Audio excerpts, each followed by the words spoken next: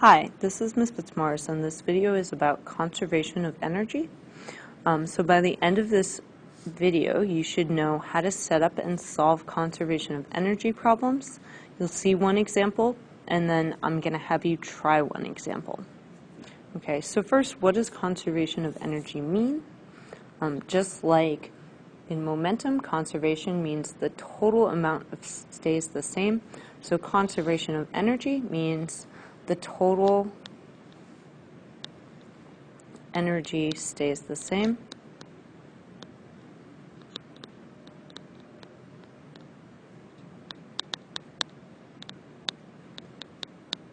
Okay, or sigma E naught, all of the energy at the beginning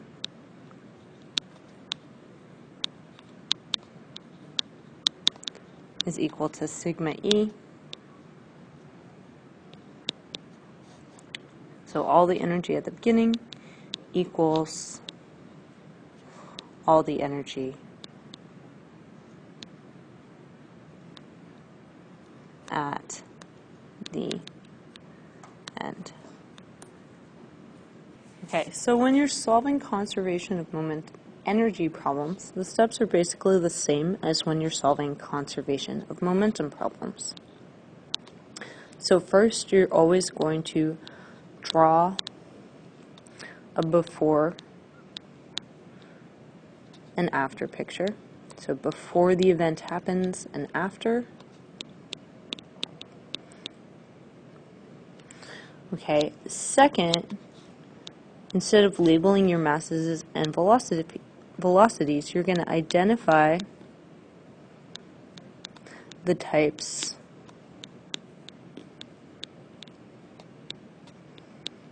of energy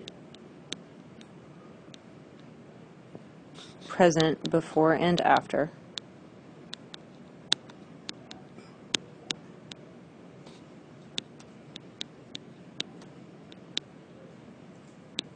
Okay, then you're going to use sigma E naught equals sigma E to set energy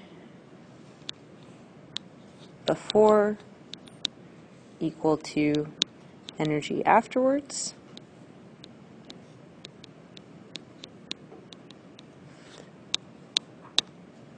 Okay, you're going to then fill in the equations for the individual types of energy.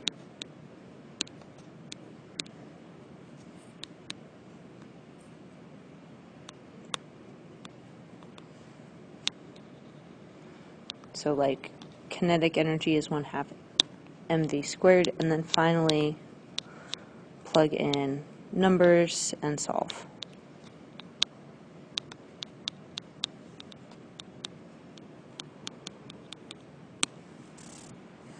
Alright, so the example that I'm going to do for you is on page 7 of your energy packet, um, problem number 1. It says an 8 kilogram flower pot falls from a window ledge 12 meters above the sidewalk. A, what is its kinetic energy right before it hits the ground? And B, determine its velocity right before it hits. Okay, so we did this in class. The before picture is just this flower pot. Okay, we know that its velocity is zero because it hasn't fallen yet, and that its height is equal to 12 meters. Afterwards is right before this flower pot hits the ground. Okay, so the flower pot is moving at some speed okay, but its height is basically zero. It's about to hit the ground, okay? And if I look at my before picture, I see that I only have gravitational potential energy. So I have UG, and at the end, I have only kinetic energy. Okay, so I'm going to write out sigma E naught equals sigma E Okay, all the energy I have at the beginning is just UG. All of the energy I have at the end is K. Okay, now I know the equation for UG naught is equal to mgh. And in part A, I just want to know what is the kinetic energy. So for part A, all I have to do is I can solve for K. Okay, and I can plug in my mass, which is 8, G is 10, and H naught is 12, and that will be my kinetic energy. Okay, and when I multiply that all out, I get K is equal to 960 joules. Okay, now in part B, it wants to know the velocity, and since I know the kinetic energy, I can use K equals 1 half m v squared. Okay, so I plug in 960 for K, 1 half, the mass is still 8 kilograms, and I'm solving for velocity. Okay, I know that 1 half times 8 gives me 4. I'm going to divide both sides of this equation by 4. And I end up with v squared is equal to 24, or 240. Alright, so my last step is to take the square root of both sides.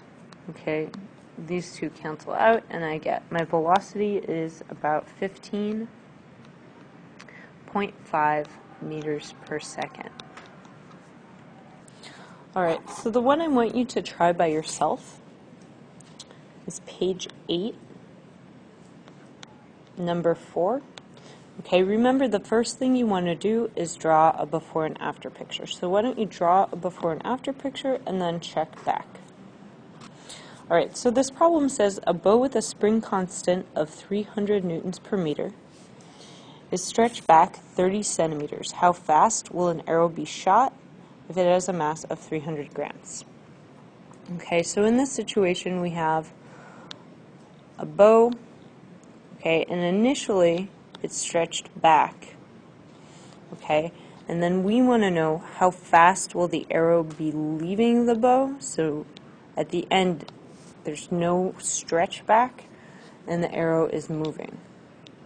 Okay, so at the beginning the arrow is not moving, the bow is stretched back. At the end there's no more stretch, but the arrow is moving.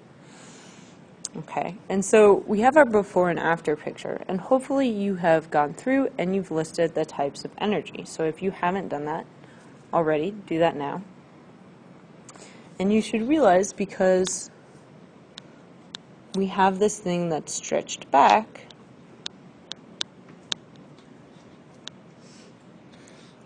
that we have spring potential at the beginning.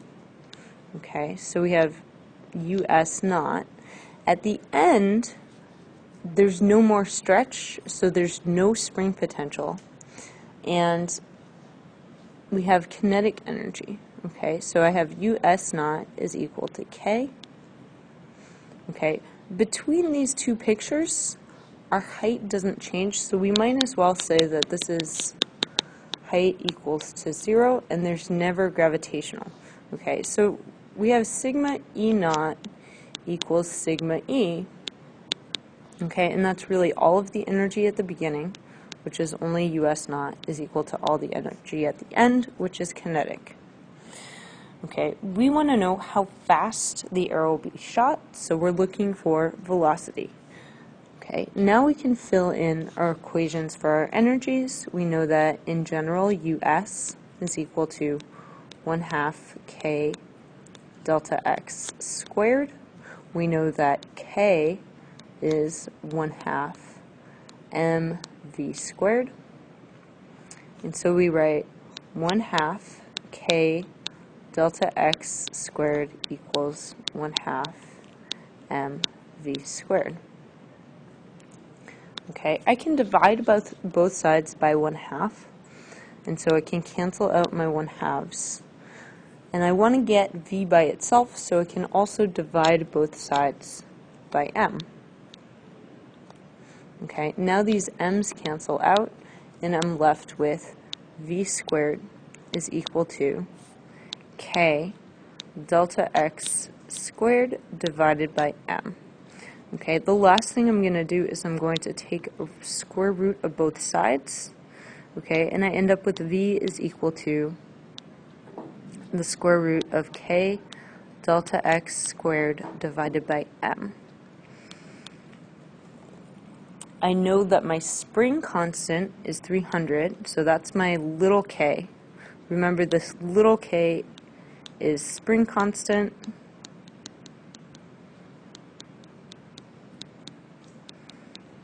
Okay, big K is kinetic energy.